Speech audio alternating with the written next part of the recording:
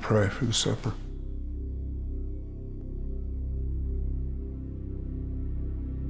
Dear God, we pray for our family.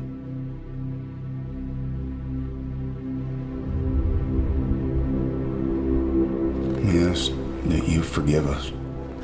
We ask that you show us the way here, because we're in trouble. You made this crazy world, so maybe you can give us some sort of hint as to what you're up to. Because I don't have the first fucking clue.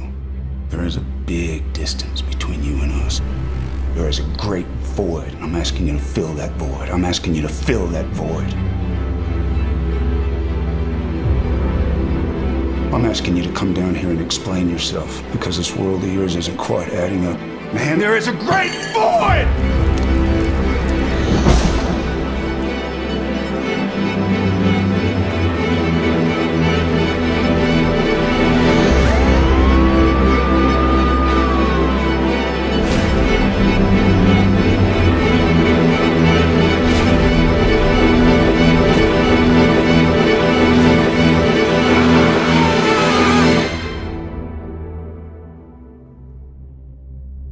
Amen.